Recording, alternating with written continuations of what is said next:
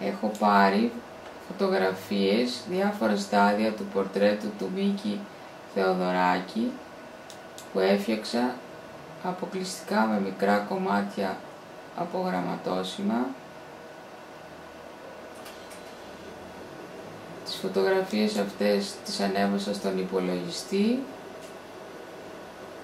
και τραβάω βίντεο την οθόνη για να φανεί η λεπτομέρεια entusiasmo.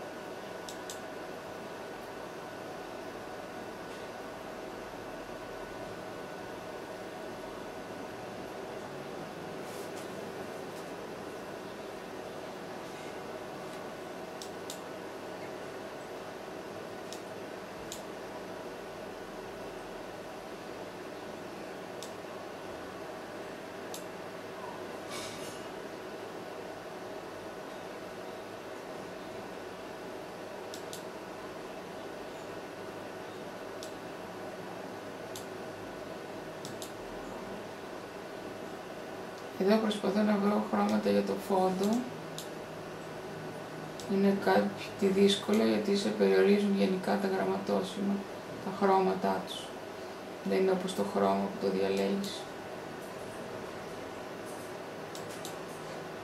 Εδώ έχει βρεθεί το χρώμα, αλλά πρέπει να βρεθούν και τα γραμματόσημα, χρειάζονται πολλά.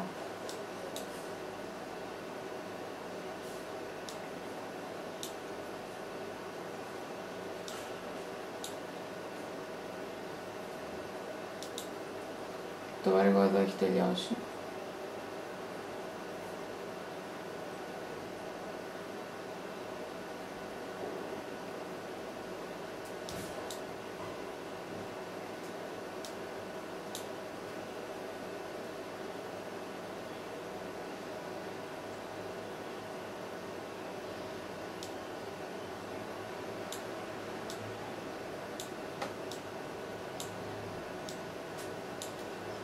και υπογραφή. Μαρία Καλαϊτζόγλου. Ελπίζω να ικανοποιήσει το αποτέλεσμα όσους το δούνε.